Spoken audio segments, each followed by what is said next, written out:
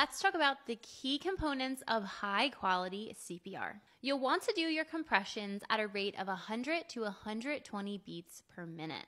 Compressions should be at a depth of at least 2 inches for an adult. Be sure to allow for full chest recoil between compressions to allow the heart to fill with blood, maintaining effective circulation. You want to rotate compressors after 2 minutes of continuous compressions or sooner if the compressor gets fatigued. You want to minimize interruptions during chest compressions to ensure continuous blood flow is getting to those vital organs.